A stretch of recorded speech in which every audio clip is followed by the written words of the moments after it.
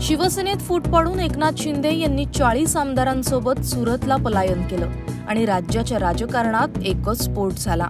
एकनाथ शिंदेंनी चाळीस आमदारांसह केलेल्या बंडखोरीमुळे शिवसेनेत दोन गट पडले आणि शिंदे गटानं भाजपशी हातमिळवणी करून राज्यात शिंदे फडणवीस सरकार स्थापन झालं.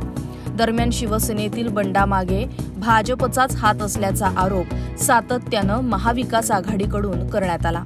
अशातच आता या आरोपाची कबुलीच भाजपचे मंत्री गिरीश महाजन यांनी भर सवेत दिली आहे. त्यामुळे पुन्हा एकदा राजकीय वर्तुळात चर्चांना उधाण आलंय. कसे मुख्यमंत्री झाले? हे खरं आहे? आम्हाला विश्वास बसत नव्हता.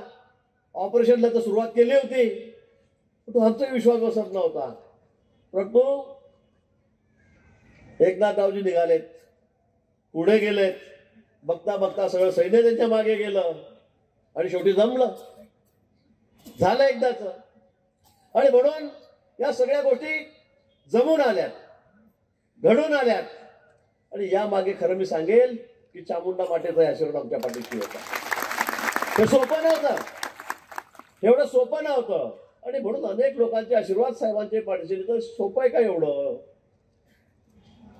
शिवसेनेसारख्या पक्षातून चाळीस लोक बाहेर पडतायत. त्यांना कंटाळून बाहेर पडतात उद्धवजींना त्यांच्या सरकारला. सोपं नव्हतं परंतु लोक आलेत. साहेबांच्या पाठीशी उभे राहिलेत. शिंदे साहेबांच्या पाठीशी उभे राहिलेत. आणि म्हणून अनेक लोकांचे आशीर्वाद अनेक लोकांच्या दुवा त्यांच्या पाठीशी आहे मला वाटलं तर की खरं नाही मध्ये ऑपरेशन फेल झालं तर कसं काय होईल आता हे? बरोबर आहे ना? चाळीस लोक जमा करणं सोपं नव्हतं.